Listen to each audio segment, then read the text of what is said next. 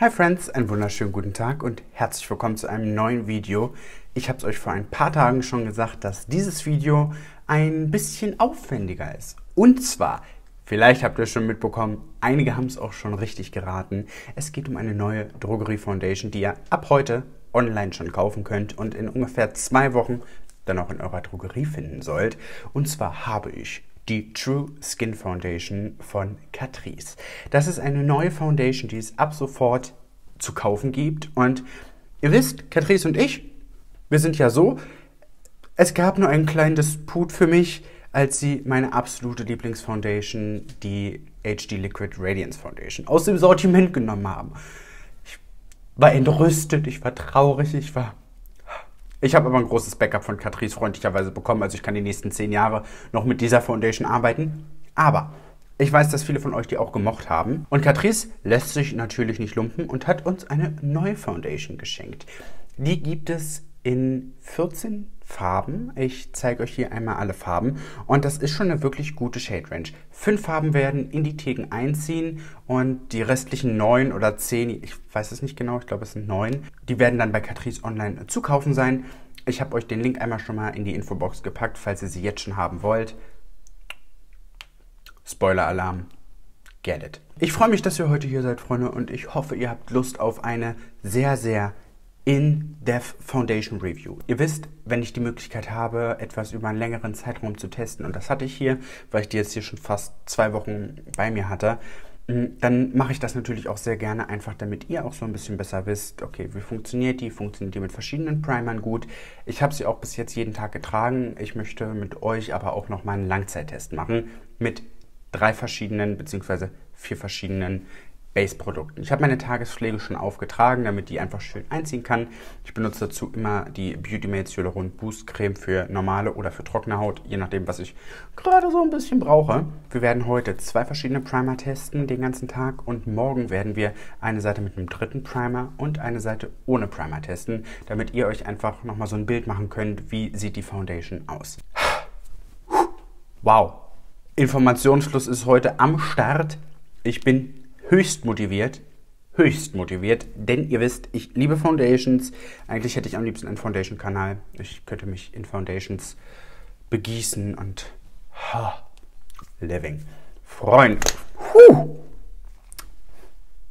Smooth. Wir haben wirklich eine recht gute Shade Range. Also es gibt auch dunklere Farben, zwei, die wirklich in die sehr dunkle Richtung gehen. Natürlich kann man das immer noch ausbauen, aber es ist schon ein guter Schritt in die richtige Richtung. Und im hellen Spektrum ist es auch sehr gut unterteilt. Also es gibt viele verschiedene Untertöne.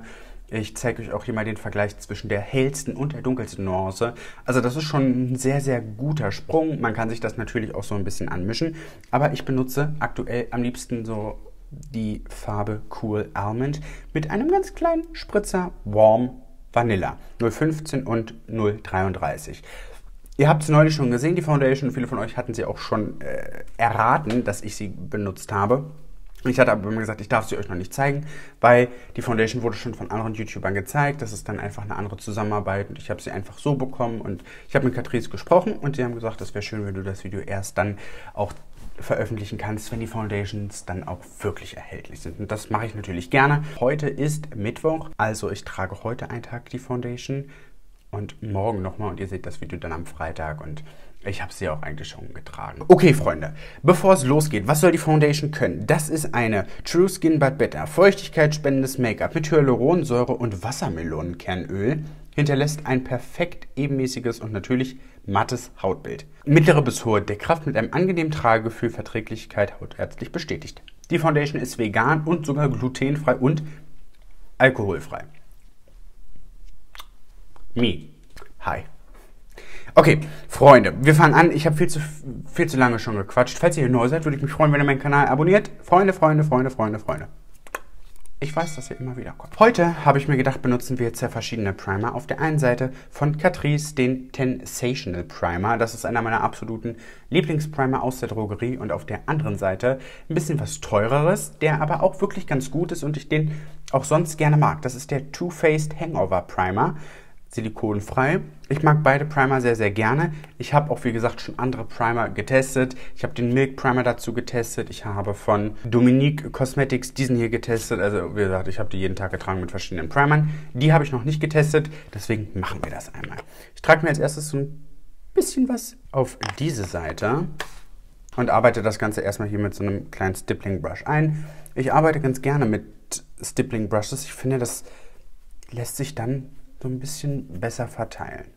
Und ich hole euch selbstverständlich gleich auch wesentlich näher ran, damit ihr wirklich alles seht. Falls ihr die Möglichkeit habt, schaut das Video unbedingt in 4K. Da seht ihr jede Pore, jeden Pickel, jede Wimper, everything. Und ich finde, das ist immer ganz gut für so Foundation Reviews. Ich habe mir extra die Kamera gekauft mit 4K-Funktion für genau sowas, dass ihr sehen könnt, wie sieht etwas aus. Auf die andere Seite gebe ich mir den Too Faced Primer und morgen machen wir das Ganze einfach nochmal mit einer Seite einem anderen, dann den hier von Becker, den haben ja auch viele, und eine Seite ohne Primer. Der Hangover Primer ist ein bisschen feuchtigkeitsspendender, der von Catrice gibt eher so einen leichten Glow. Ich mag beide sehr, sehr gerne. Und meine Lippen sind so unnormal crusty. Ich gebe mir hier erstmal noch ein bisschen was drauf. Es wird auch einen neuen Concealer geben. Ich bin gerade schon mit Catrice dabei, die nächsten Videos äh, zu planen. Es gibt ja bald das neue Sortiment und ihr wisst, Freunde, Sortiments-Updates und ich wir sind Geschwister. Äh, ich plane, je nachdem, wann ich die Sachen bekomme, dass ich vielleicht sogar eine komplette Woche Catrice widme. Das mache ich von mir aus, nicht von Catrice aus, weil es so viele Neuheiten gibt und ich schaffe es einfach nicht, 40 Produkte in mein Gesicht zu kriegen. Ich habe ein sehr großes Gesicht, aber Girl, nicht so groß. Okay, kommen wir endlich zum Punkt. Ich habe hier beide Foundations, einmal die 033 und die 015. Ich gebe mir die wieder hier auf meine Mischplatte und ich sage es euch jetzt schon, weniger ist mehr bei der Foundation. Gebe mir von jeder Foundation nur einen Pumpstoß mit drauf, gehe mit meinem Stippling Brush so ein bisschen rein und setze mir das Ganze erstmal hier hin. Und das reicht. Zum Verblenden nehme ich meinen eigenen Beauty-Schwamm. Ist, ich will ja nicht sagen, aber er ist schon wirklich sehr, sehr gut. Vor allen Dingen für sowas. Und dann arbeite ich mir die Foundation erstmal auf einer halben Seite ein und dann könnt ihr auch wieder so ein bisschen sehen, wie ist die Deckkraft. Ich finde, das ist ja immer so ein ganz guter Schritt. Normalerweise bin ich ja wirklich die größte Freundin von Full Coverage. Aber jetzt, als es so heiß war, habe ich so ein bisschen verstanden, dass manchmal Full Coverage nicht unbedingt die beste Option ist.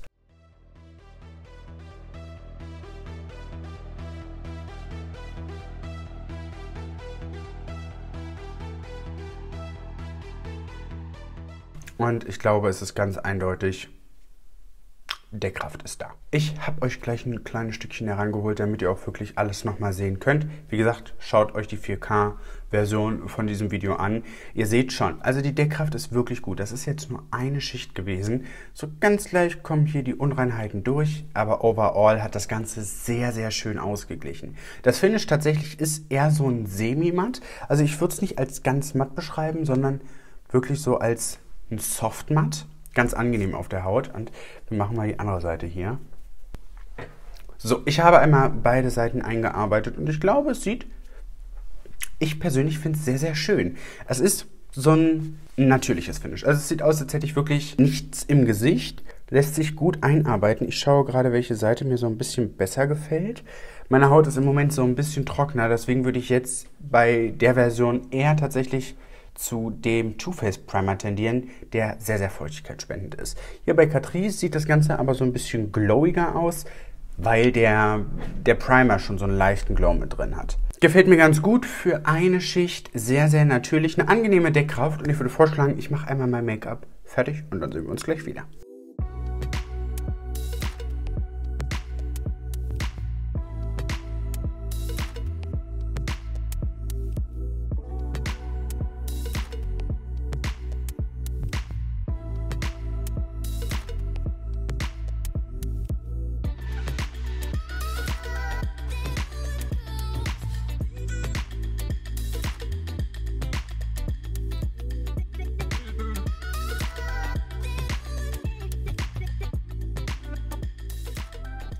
Und so sieht das Make-up einmal fertig aus. Es ging wirklich sehr, sehr einfach alles.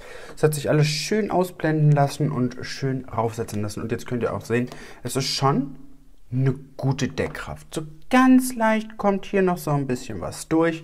Ich finde, das sieht dann aber immer sehr natürlich aus. Ich persönlich mag das im Moment ganz gerne, wenn es nicht ganz so, so Juvia's Place mäßig ist, weil es dann doch recht maskenhaft aussieht. Also das ganze Finish ist recht natürlich. So ein kleines Stückchen ist die Foundation oxidiert, aber wie gesagt, ich hätte jetzt auch einfach nur die 0,15 nehmen können, aber im Moment mag ich es ganz gerne, wenn so ein bisschen tan ist. So sieht das Ganze sehr, sehr schön aus. Es ist doch auf der recht matten Seite. Also ich würde für mich jetzt First Impression mäßig ein etwas feuchtigkeitsspenderen Primer benutzen und vielleicht jetzt ein Spray, was so ein bisschen Feuchtigkeit spendet. Und dann wird die Puderschicht, die ich ja mit drauf gegeben habe, einfach noch so ein bisschen weicher gemacht. Wenn ihr eine trockene Haut habt und euch die Foundation interessiert, ich würde fast sagen, ihr braucht kein Puder. Seid ihr ein bisschen auf der öligeren Seite, ist das eine sehr, sehr gute Foundation, weil sie von der Grundsubstanz schon etwas matter ist und ihr das dann natürlich mit Puder oder so noch ein bisschen absetzen könnt. Es ist jetzt 7.09 Uhr. Ich starte den Tag jetzt und melde mich in ein paar Stunden mit dem Handy im Tageslicht wieder. So, Freunde, kleines Zwischenfazit. Alexa, wie spät ist es? Es ist 10.11 Uhr. 10.11 Uhr. Das heißt, ich habe die Foundation jetzt drei Stunden drauf. Ich komme ein Stückchen näher, dass ihr das Ganze wirklich gut sehen könnt. Also, sie sieht sehr natürlich aus. Ich habe so ein bisschen mit Blush hier auf der Seite übertrieben, aber Freunde, ihr kennt mich mittlerweile, ich lieb's. Ansonsten sehr, sehr schön ebenmäßig. Sie ist ein kleines Stückchen dunkler geworden, also ich hätte vielleicht etwas mehr von der helleren Foundation benutzen sollen. Aber Natural Queen. So, Freunde, es ist jetzt 17.30 Uhr. Das heißt, ich habe die Foundation jetzt ungefähr 10,5 Stunden ungefähr drauf.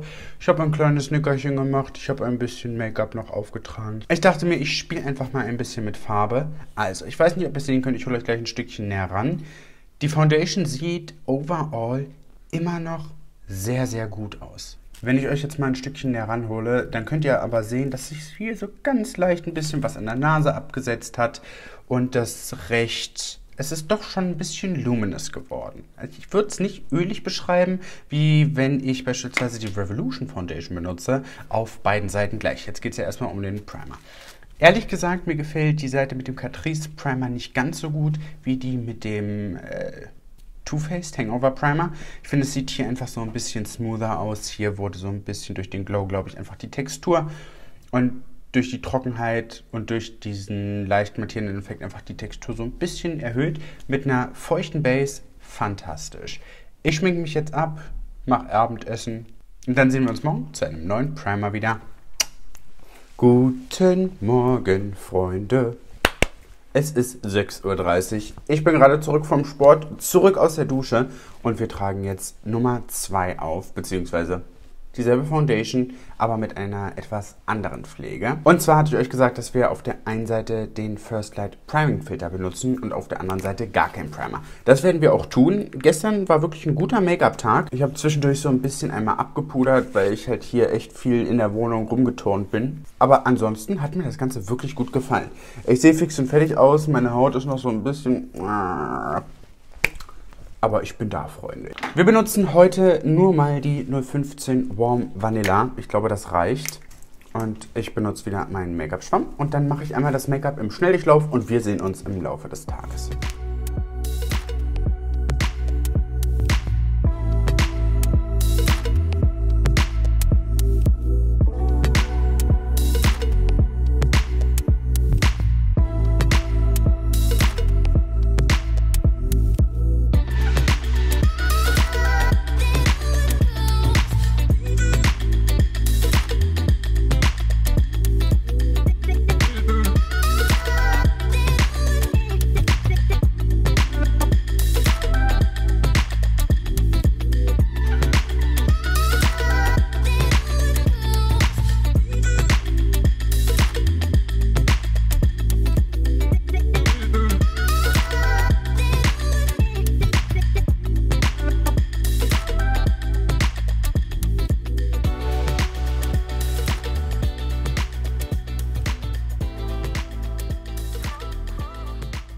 So Freunde, ich habe das Make-up einmal fertig. Ich liebe es, wie es heute aussieht.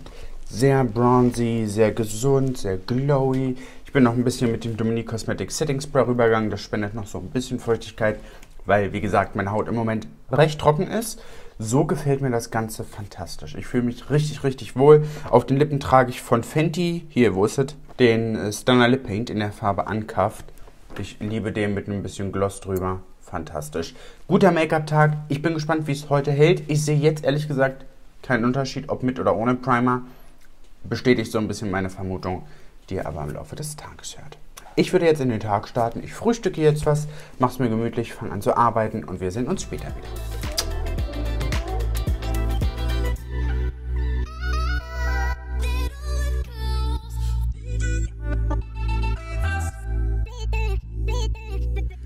Freunde, es ist 18 Uhr. Ich habe die Foundation, ich weiß es nicht, Ewigkeiten drauf. Ich komme mal ein Stückchen näher, dann könnt ihr euch das Spektakel mal anschauen. Also hier habe ich äh, Sonnenbrillenabdrücke und mein Concealer ist auch so ein bisschen trocken, aber schaut euch mal an, wie schön glowy die Base jetzt aussieht. Nach über 10, 11 Stunden hm, Uhr. Fantastisch. Also wirklich nichts, wo ich sage, Mensch, ich könnte jetzt ein bisschen abpudern. Ich würde vielleicht einfach mit dem Schwamm nochmal rübergehen, dass das Ganze wirklich auch wieder schön auf meiner Haut drauf sitzt. Ich habe immer so ein bisschen, bei Wäscheständer, ein bisschen das Gefühl, dass wenn ich eine Foundation sehr, sehr lange trage, dass sie sich so ein bisschen von meinem Gesicht abhebt. Das liegt aber einfach daran, dass ich sehr, sehr viel Foundation meistens trage und das so ein bisschen, ich trage es Ewigkeiten. Also auf jeden Fall fantastisch, wie das Ganze jetzt aussieht. Wenn ihr eine eher trockene Haut habt, würde ich euch einen sehr, sehr feuchtigkeitsspendenden Primer empfehlen, weil das Finish halt doch schon recht matt ist. Solltet ihr eine ölige Haut haben, ist das, glaube ich, eine sehr, sehr gute Foundation für euch, für den Alltag. Günstig, viele Farben, hält gut, einfach zu benutzen, sehr, sehr, sehr, sehr unkompliziert. Das ist eine sehr, sehr unkomplizierte Foundation. Ich muss nicht stundenlang einarbeiten, stundenlang verblenden, es hat Spaß gemacht, die Foundation zu benutzen. Ich bin sehr gespannt, wie ihr die Produkte fandet. Ich bin sehr gespannt, wie ihr die Foundation fandet. Ich habe euch unten einen Link in die Infobox gesetzt. Da könnt ihr die Foundation direkt shoppen. Und ich würde mich freuen, wenn ihr da mal vorbeischaut. Ich danke euch, dass ihr heute mit dabei gewesen seid. Ich wünsche euch ein zauberhaftes Wochenende und wir sehen uns am Montag wieder. Passt auf euch auf.